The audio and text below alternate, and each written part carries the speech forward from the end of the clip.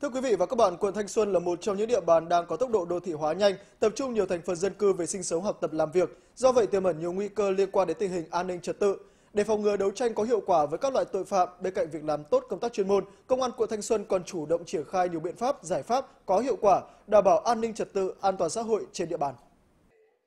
Cổng khóa lỏng lẻo, tường bao thấp, quay bằng rát giường sơ sài. Đây là những sơ hở khiến tội phạm dễ dàng đột nhập trộm cắp hoặc có thể gây ra những hành vi phạm tội khác. Chúng tôi ở quê ra đây không có tiền đi kiếm sống thì chỉ chọn cái nhà trọ à, thấp, bé, rẻ tiền. Để làm tốt công tác phòng ngừa đấu tranh phòng chống tội phạm, Công an quận Thanh Xuân đã triển khai kế hoạch tổng kiểm tra phát hiện, xử lý các vi phạm tại các khu nhà trọ cho thuê, nhà nghỉ, khách sạn trên địa bàn.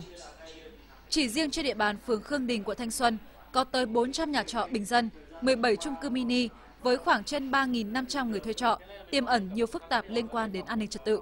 Do vậy, việc tăng cường kiểm tra tại các khu nhà trọ, các cơ sở kinh doanh dịch vụ có điều kiện là một trong những biện pháp nhằm kịp thời phát hiện, ngăn chặn hoạt động phạm tội của tội phạm, từ đó tuyên truyền, nâng cao ý thức bảo vệ tài sản của người dân. Ở đây nó tiềm ẩn các vấn đề phát sinh như tệ nạn về ma túy, cờ bạc, mại dâm, người nước ngoài đến lưu trú nhưng không khai báo. Với những cái đối tượng phạm tội chuẩn bị có cái việc, gọi là, manh nha những ý định hoạt động phạm tội hoặc là chuẩn bị cái ờ, thủ đoạn để định hoạt động phạm tội tại các nhà trọ, thấy cái việc phòng ngừa của công an phường làm như vậy, rồi sự kiểm tra của công an quận thường xuyên như vậy là các đối tượng là đã dập tắt hoàn toàn ý định của các đối tượng. Hàng tuần thì chúng tôi sẽ bố trí cán bộ chiến sĩ thành lập hai tổ kiểm tra, thông qua cái việc kiểm tra để phát hiện những cái sơ hở thiếu sót trong cái công tác quản lý à, phòng ngừa đấu tranh chống tội phạm và tệ nạn xã hội phát hiện xử lý nghiêm các cái trường hợp à, vi phạm các cái quy định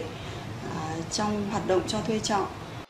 Thời gian qua, cơ quan chức năng đã phát hiện bắt giữ nhiều vụ việc các đối tượng sử dụng nhà nghỉ, khách sạn để hoạt động mại dâm, mua bán sử dụng trái phép chân ma túy.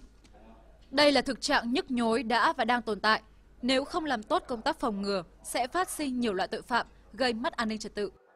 Từ nay đến cuối năm, Công an quận Thanh Xuân sẽ tiếp tục duy trì các tổ công tác liên lực lượng, phối hợp chặt chẽ với công an các phường, tăng cường kiểm tra trên toàn địa bàn quận. Xuyên đêm làm nhiệm vụ, họ đã và đang lặng thầm đóng góp vào sự bình yên của thủ đô.